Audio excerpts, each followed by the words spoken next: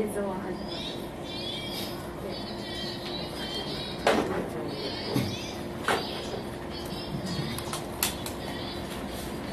これなくても大丈夫です。か、はい、大丈夫です。放送が多分なくても成り立ちはしますよ、番組は。聞こえるとか宜野湾ジュイシージータイム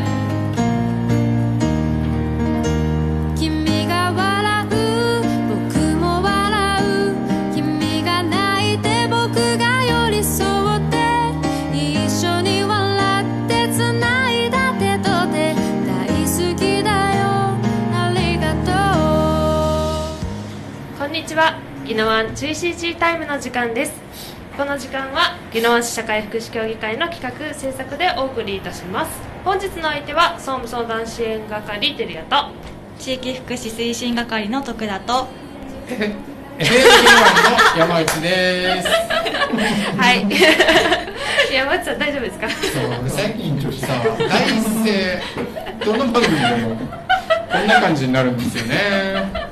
いいですね。でも場が和むのであいいですよ。い いいですよ。とか言って。ゲルギノワ私も感じた。ギノワヒルズ通り FM ギノワのスタジオから生放送で午後5時までお送りいたします。皆様最後までお付き合いください。私たち宜野湾市社会福祉協議会通称宜野湾社協では注意 CG の心で作る人と人がつながる優しい街宜野湾を目指し宜野湾市の地域づくりや福祉の推進を行っています。はいはい、えー、そしてですね、FM ギノワンでは、えー、ツイキャス、はい。YouTube ライブでですね、映像と音声をネット配信しております。はい。ぜひそちらからも参加していただきたいですし、メールも募集しております。はい。メールはまだ言ってないよね。はいまだ言ってません、えーメールアドレスは 797-fm ギノワン .com です。そしてえっ、とサイマル放送といやサイマル放送で、えー手持ちのスマホでも聞くことができます,、アプリのリステラジそしてマイチューナーラジオダウンロードしていただければこれ無料ですので、はい。えーいつでもどこでも聞けますのでぜひそちらもご活用していただければと思います。はい。それでは本日もまた素晴らしいゲストが来ていただいてますので、はい。ちょっと CM 明けに紹介していきたいと思います。それでは本日も元気に参ります。幸せをつなぐ宜野湾注意 CG タイム始まります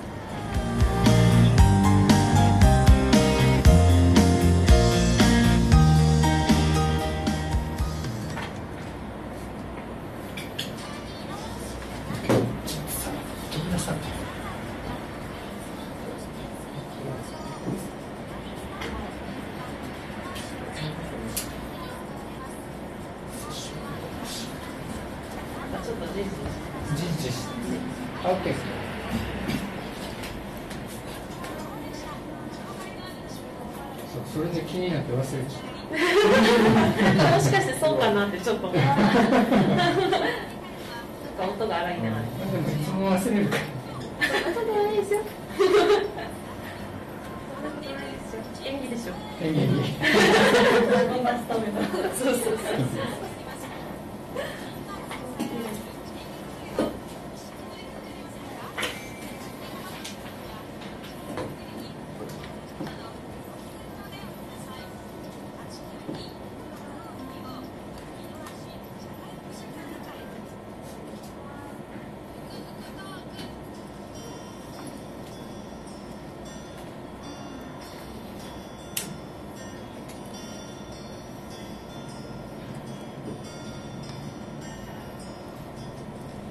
6月16日水曜日宜野湾 GCG タイム始まりました。この番組は宜野湾市社会福祉協議会の企画制作でお送りしております。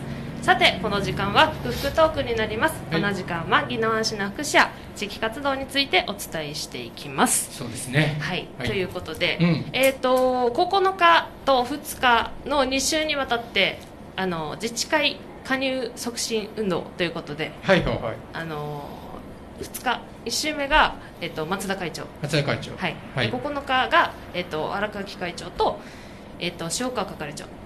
はいはいはいはい。に ちょっと忘れてた。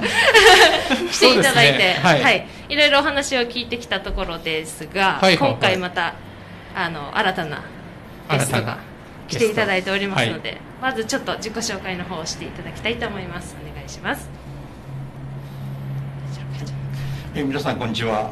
こんにちは。えー、宜野湾市自治会自治会長会の初期会計で、えー、大山区自治会長あ自治会の会長那城克美と言います。よろしくお願いいたします。よろしくお願いします。よろしくお願いします。お願いします。こんにちは。こんにちは。4月から長田区自治会長になりました佐藤健太郎と言います。年齢は30歳独身です。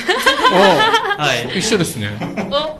ですけどあの何が一緒？言っときます。あの結婚相手とか彼女はじ自分で探すのでなんか紹介するっていう人結構いるんですけどあまあ紹介してくださる方には失礼なんですけどもうその辺は大きなお世話ですので自分でワクワクドキドキ、まあ、長田区もワクワクドキドキする長田区を目指してるんですけどワクワクドキドキする相手を見つけるので、はい、よろしくお願いいたします。はい、よろしくお願いいたします。はいよろしくお願いします 山内さんさっき同じだっていうの何が何が同じかなと思ったけど。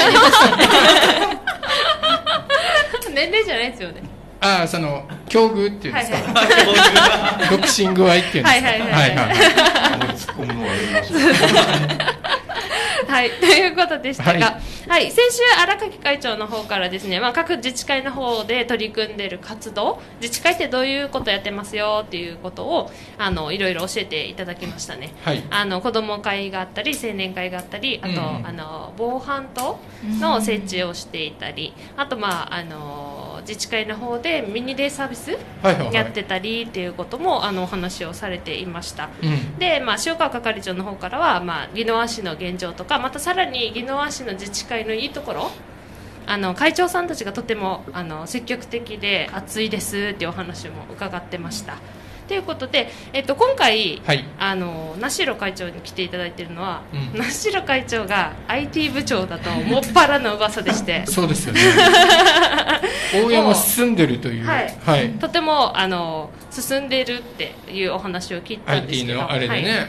どういう取りみ組みの方をされていらっしゃいますか今？えそうですね。あの大山区の自治会の紹介をホームページ、えーインスタグラムあとフェイスブック等に、えー載せて自治会の紹介をやっています、であの内容としましては、えーえーと子ども会えー老人会婦人会、えーそういう活動をやってる動画とか写真を載せて、えーあのまあ、あと自治会新聞ですね、はい。そういうのを発信しています。そうですね。私もちょっとあの先ほど拝見したんですけどそれ以外にもまたさまざまな今のワクチンの情報だったりとか、結構あの市民に対してもうこの区民だけじゃなくて宜野湾市民に対しての情報だったりとかも、はいはいはい。あの発信をされててすごくいい素敵なホームページだったんですよ、で誰が作ってるかというとはい。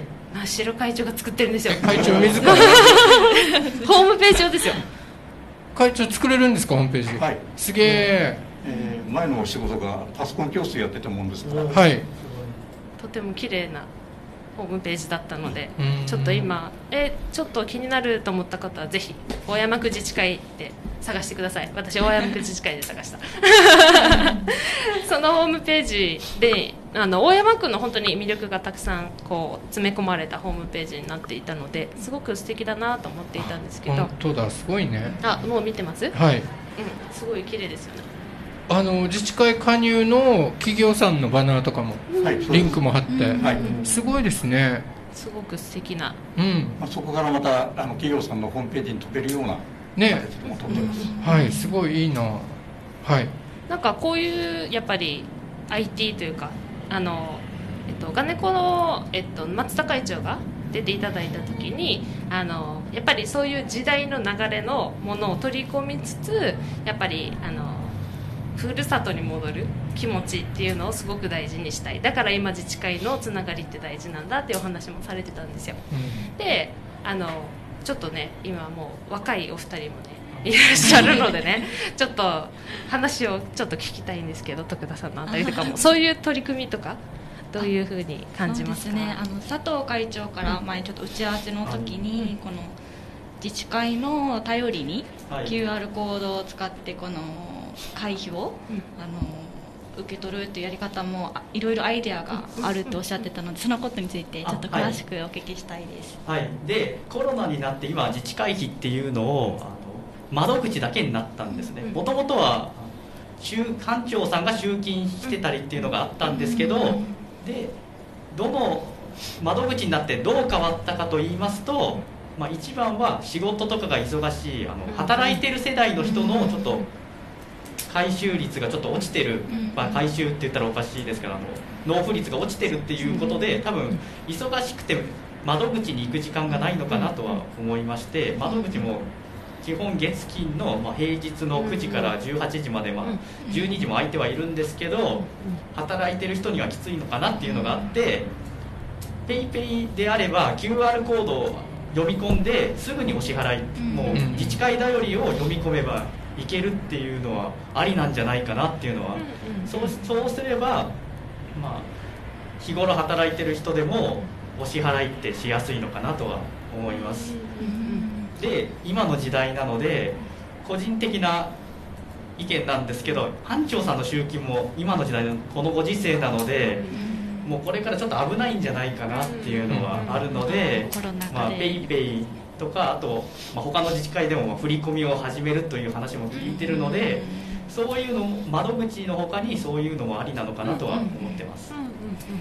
あの先ほどお話聞いてた時に名代会長の方がやっぱりあのたくさん自治会が23区自治会がある中でそれぞれの区のやっぱり持ち味だったりとか特徴だったりとかっていうのもあるのでこの永田区のこのアイデアもあの一つのアイデアとしてこの選択肢を広げる。だから、あの入る方たちにとって何があの一番やりやすいのかっていうのを、まあ、自治会の方からこう提供するっていうのはすごくいいアイデアなのかなと思っているんですよ。すね。結局それを選ぶのはこのうん。区民だったり、なのであの親さっきあの名代会長がおっしゃってたのは、まあ、大山だとちょっと年配の方も多いのでなかなかあの、まあ、新しいことをすぐ取り込めるっていうことはできなくても、まあ、少しずつわからないところをあのパソコン教室とかで習ったりしてるっていう話も聞いてるのでやっぱりそういうところが少しずつそういうあの、まあ、年配の方でも対応できるところ。でまた永田区のように若い人でも取り組むあの軽か気軽にっていうんですかね。あの自治会にこう足を運べるような環境を作るだったり、まあ、あのコロナ禍なのでちょっと非接触の環境を作るっていうのも一つのアイデアとして本当に多様なアイデアがあっていいなと思ったんですけどやっぱり23区からやっぱり違いますよね。そうですね。やはりあの銀行振り込み、まあ、前からそういう話は上がってまして、若い人とかあとあの年金をもらいに行くときにその時に銀行振り込んで振り込んでたらいいなっていう声も上がってて、ですけどあのやっぱり昔から班長が何のためにいるかっていうと各あの家庭を回って、要はあの見見守見守りのあのメモありますので、一概にこの班長さんがあの集金をやめるっていうことがなかなか、昔のやっぱり先輩たちから言われることは、はいこう班長さんが家庭を守ってて、あの老人一人世帯のあの安全を確認、安否を確認するっていうのを目的があったんだよっていうやっぱりお声もありますので。あのまあ、若い人向け、やっぱりあのお年寄り向けっていうことで、い、ろんなこうあの選べるねそうですね選択肢があのあれば。自治会費をもらう、あの選択肢があれば一番いいのかなって思います。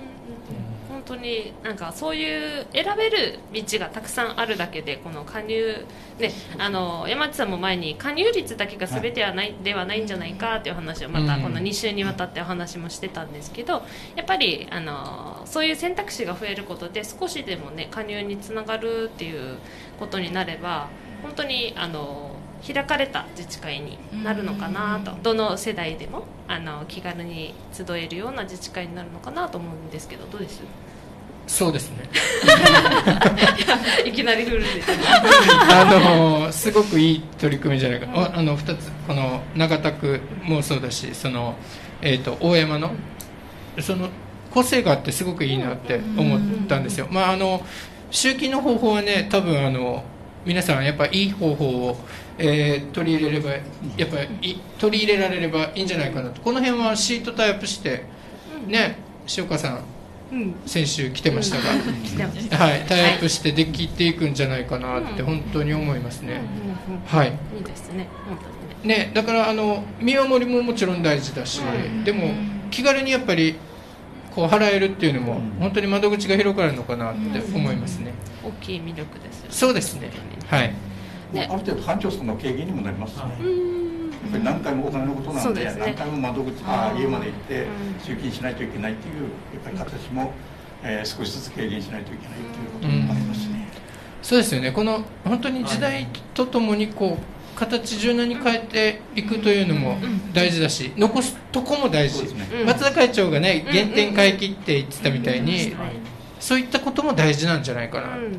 今回非常に思いましたねこはい。の3週にわたって、うん。はい、渡って本当にさまざまなアイデアと、うん、あと思いと。思いと。本当にみんな思いが熱くて。結局ね 目指すところは地域を良くしていこうという、誰一人取り残す取りこぼさずにっていうとこかなと思いますので。そうですね。うん。で佐藤会長の方はい。が今度新しく、あの永田区の会長になったということなんですが宜野湾区の自治会ってどういう印象がありますか？長田区ですか？宜野湾あ宜野湾全体あ宜野湾全体のですね。はいはい宜野湾全体で思ったのはまずフルタイムの自治会長っていうのが珍しいなっていうのは内地では聞いたことないですしあとは沖縄県内でも珍しいのかなっていうのは。でフルタイムにいるからこそ地域と密接なのかなっていうのは要はイベントの時とかそういう何かある時だけじゃなくて常にお助けマンとして公民館にいる。でまあアンパンマンとかヒーローにみたいな感じじゃない。とちょっと言い過ぎですけどもうすぐ駆けつけるみたいな。もう地域の便利屋さんみたいな感じなのかなとも思ってます。困った時があったらもうすぐにパッと駆けつけられるっていうのは宜野湾市内の自治会のいいところかなと思ってますじゃあもう佐藤会長もねアンパンマンに これから。そうですね。スーパーマンにはい。佐藤会長はあれですか？もともとそのそういった地域とかなんていうのかな？結構つながってた興味が自治会とかにもつながってたんですか、まあ興味があったというのが正しいですからあの朝の交通安全指導とかはもうすするようにはしてますはいこれまあ興味はななぜというかどのあたりに？ああまあもともとはい国際政治とか興味があったんですけど大学院時代とかは学んでたんですけど、はい。国際政治を勉強してたからこそその逆に地域の温かさといいますか地域の方々の心の温かさ特に沖縄県であったりとか長田区の、まあ、特徴といたしまして、まあ、よそから来た人に優しいのが長田区なのかなっていうのがあります、現に長田区の方が受け入れてくれてまあたので確かに自治会長になれたっていうのもあるので。確かに、はい。受け入れオープンだと思います。ないとねなかなか、はい、そうですね。で前の前の会長も30歳30そうですね。代でなってたのでよその人とか若い人にも門がオープンな自治会かなと長田区は思います。うんうんうん。確かに確かに。なるほど。富浜さんがだったでした。よ ね思い出したなんか思い出しました。その時はね大山もね。うん。ああ若かったですもんね。そうそうそう。活発で、りょうさん、はいはだったのでやっぱりなんか宜野湾市私も単純なんですけど、うん。宜野湾市の自治会長さんたちを見てもう単純にみんな若いと思ったんですよ。私も もう本当に申し訳ないんですけどあの自治会長さんたちすごいもうあの長老とかみたいな人がやってると思ってたんで本当にもうそういうイメージしかなかったんですよ。いそういう方いないですよね。本当にねもうみんな若くて、うん。みんな活動的で、でやっぱりねさっきあの山田さんも言ってたんですけど区民の幸せをみんながはい。すごく考えているっていうのが本当に伝わってきてうん。すごいなと思いました。やっぱ名城会長が戻ってきてそこに気持ちを持っていったのもやっぱそこがあったんですか？あの内地に長くいられてたっていうそう話ですね。20年ぐらい内地にいたんですけどもやはり最初に関わったのがやっぱりあの大山区の、えー大園市の方でやっぱり同級生とか先輩たちから、えーやってみないかってことで関わったのが、えー最初ですね、あのーえっと大山は結構進んでるというかいろんなこう IT でこの、まあ、今のコロナ禍の時代にすごく合ってるのかなと思うんですけど Zoom もはい。やってますよね、ズームもやってます。ただそのえっ、となんていうのかな。やっぱりそれを定着させる、うん。その結局あれって割とあのまあできる世代は全然大丈夫だと思うんですけど、やっぱできない高齢者の方々とっつきにくい方々にこそ利用してすごく価値が上がるのかなと思うんですけど、これからどんなやって定着させていくとかそういったのを考えてますか？ね。あのズーム会議やってる時もそうだったんですけどもあの婦人会さんはい。あと老人会さんにもお声かけして何名かの方やっぱりあの来ていただいて、はい。その方がスペシャリストになればまたその方から広がっていくんじゃないかという形で一応あの人数集めはしたんですけども、はい。やっぱりズームというと会議にどうしてもなりなるのでそのズームを使ってどうやってこうあのお年寄りの方とか、あと婦人会さん老人会さん子供うん。にあのこれを広げていく、かどうやったら活用活用。あの活用できるかっていうのが一番,、今一番の問題ですね。であの親も、えーいろんなもんで、えーあの先書いてやってることはやってるんですけども、結局やってるだけではダメなんですよ、見てもらわないといけないし、そこが一番、ホームページも作ったのがいいんだけど見てもらえなかったら意味はない、ですから作るのではなくてそれを作ったのをいかにしてその若い人たちが見てもらえるで内地の方でも見見てあやっぱりもうちょっとあったら帰りたいなっていう。あのあのまあ海外あー外に行ってですね働いてて、まあ、結構30代40代になったらあホームページ見てあ帰りたいなって思ってくれれば一番いいかなと思ってますね。あのそれでこうでもなんていうのかな第一歩を踏み出したっていうのはすごく重要かなと思っていてどんどんなんかアイデアとかが生まれてきそうですね、そういう活動の。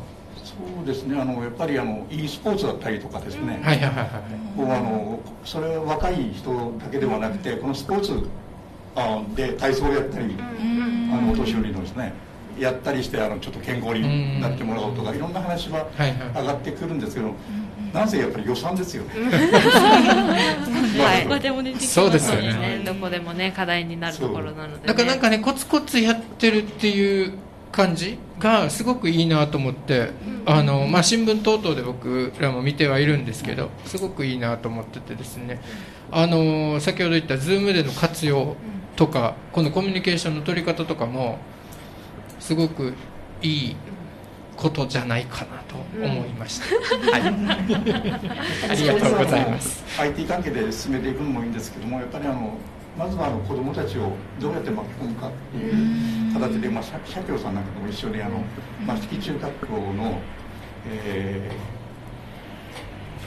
地域生徒会っていうのが、え今益城中で立ち上がるそうなんですよ、これはどういうことかというと益城中学校の子どもたちにこうオールドラッキーやるからボランティアで何名か来てもらえませんか？ってお願いするとあのその社協から発行されてるパスポートにこうあの、え反抗してもらってこういうボランティアやってきたよっていうことをこうやってくれるっていうあのすごい。益城中学をちょっと始めてあの行こうと思って。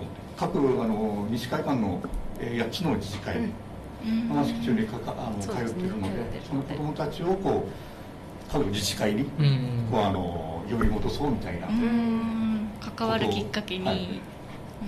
小学校の方でもあの綱作り体験を毎年やってましてあとはあの綱引きのポスターを書いてもらってあのなんですね。ちょっとした商品をあげるとかですね。今年もちょっと去年もポスター書いていただいたんですけど綱引きできなくて今年も綱引きができそうないんですけど一応小学校のようにポスター書いてもらってですね要はあの小学校中学校を巻き込んでやっぱ子供たちが元気になって地域に関わってくれれば一番また大人も集まってくるんじゃないかっていうことで 老人会さんを動かしたりですね、はい。老人会さんが立証をお願いしたり、あのバナナを作って子供たちに教えたりと、そういうことを今やってますね。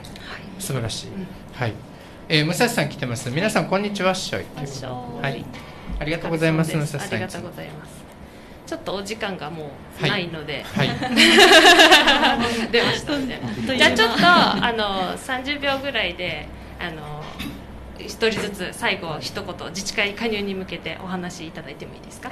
梨野会長お願いします、えー、とあの宜野湾市には23区のあの各自治会がありまして、そこの中でいろいろな団体、まあ、婦人会さんだったりあの老人会さんだったりあとはサークルズンバだったり、えー空手だったりバスケットだったりいろんな活動をやってます。またあの自治会としてはあの年中行事ですねを行ってます。で宜野湾市のホームページにもえー各自治会のあのホームページやフェイスブックやインスタグラムなどの SNS の情報がをあの紹介してますので、ん。まずは最寄りの公民館まで足を運んでいただいて自治会長さんとあのお話をしてですね、えー自治会がやっていることをあの聞いて、えー理解をしていただいて気軽に公民館まで、えー来ていただいて自治会に入ってくださいということがはい。一番言いたいことですね。はい。ありがとうございます。もう佐藤会長じゃあ、えー一言お願いします、はい。はい、一言ですね。はい。はい。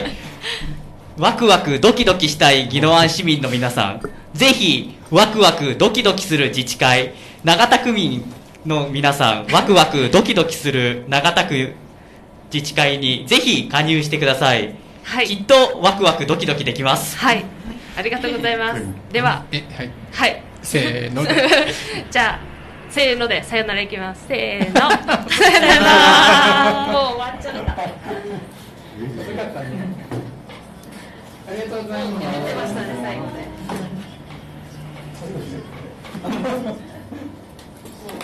本当にあっという間こんな感じ。